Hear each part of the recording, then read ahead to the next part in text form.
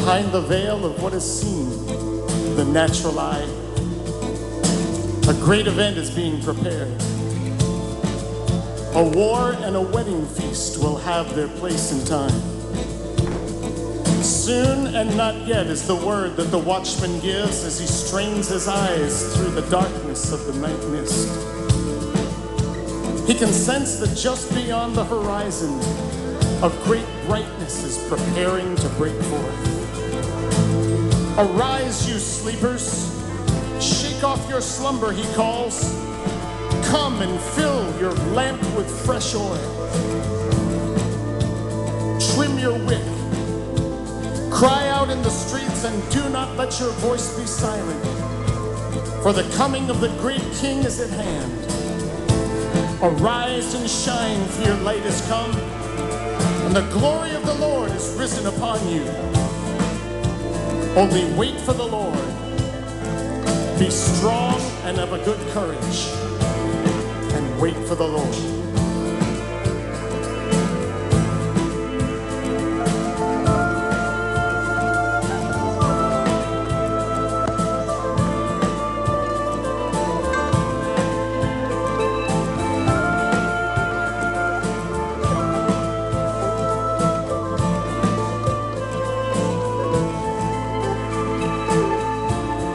Placed a watchman on your walls, O Jerusalem.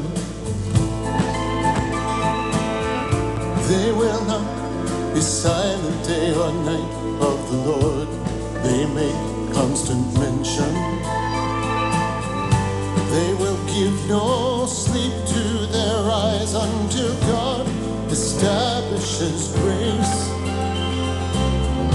There will be no in their nights until the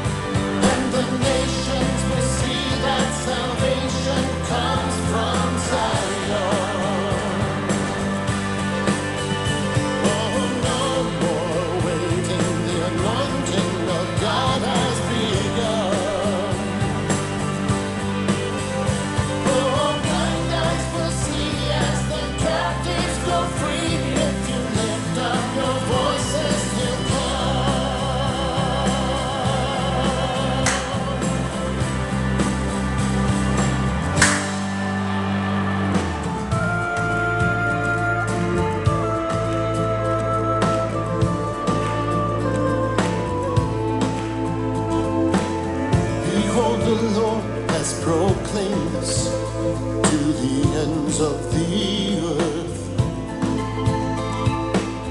And though there's fear in your streets tonight, something's already birthed. Tabernacle is rising right now